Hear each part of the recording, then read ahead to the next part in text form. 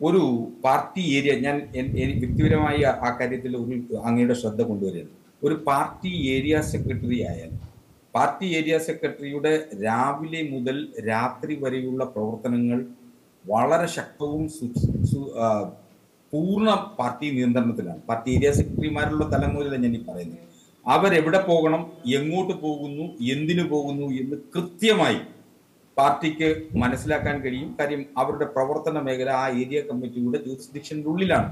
സ്വാഭാവികമായും അവരെ അറിയാത്തവരോ അവർക്ക് അനുഭവം ഇല്ലാത്തവരോ ആയിട്ടുള്ള ആളുകൾ കുറവായിരിക്കും. അങ്ങനെ നിൽക്കുമ്പോൾ ഇത്തരം പാർട്ടിയുടെ സെക്രട്ടേറിയറ്റിൽ പ്രവർത്തിക്കുന്ന ആളുകൾ പാർട്ടിയുടെ സംസ്ഥാന കമ്മിറ്റിയിൽ പ്രവർത്തിക്കുന്ന നേതാക്കന്മാർ ഇവർ പോകുന്ന വിവരങ്ങളൊന്നും പാർട്ടിക്ക് അറിയില്ലെന്നാണ് കരുതുന്നത്.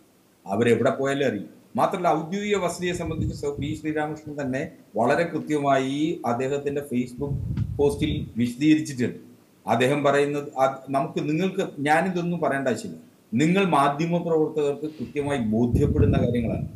ഔദ്യോഗിക വസതിയിലെ ഒരു സാഹചര്യം എങ്ങനെയാണ്? അവിടെ നിൽക്കുന്നത് പാർട്ടി തീരുമാനിച്ചിട്ടുള്ള ആളുകളെയാണ് അദ്ദേഹത്തിന്റെ പേഴ്സണൽ സ്റ്റാഫിൽ കൊടുത്തിട്ടുള്ളത്. നിങ്ങൾ വലിയ പലപ്പോഴും ചില മാധ്യമങ്ങൾ പാർട്ടിയെ ആക്ഷേപിക്കുന്നത് പാർട്ടി നിശ്ചയിക്കുന്ന ആളുകളെ പേഴ്സണൽ സ്റ്റാഫിലേക്ക് എടുക്കും ഈ പേഴ്സണൽ സ്റ്റാഫിലേക്ക് എടുത്തിരിക്കുന്നത് പാർട്ടിയുടെ വിവിധ ജില്ലകളിൽ നിന്ന് വന്നിട്ടുള്ള ആളുകളാണ് ഈ മന്ത്രിമാരുടെയും അതുപോലെ സ്പീക്കറുടെയും ഒക്കെ പേഴ്സണൽ സ്റ്റാഫിലുള്ളത് അതൊന്നും ശ്രീരാമകൃഷ്ണന്റെയോ അല്ലെങ്കിൽ എം പി രാജേഷിന്റെയോ അല്ലെങ്കിൽ ഷംസീറിന്റെയോ ഒന്നും അനു അടുപ്പത്തിലുള്ള ആളുകളെ അല്ലെങ്കിൽ അവർ ചുമതലപ്പെടുന്ന ആളുകളെ അല്ല അങ്ങനെ നിശ്ചയിക്കാറുള്ളത്.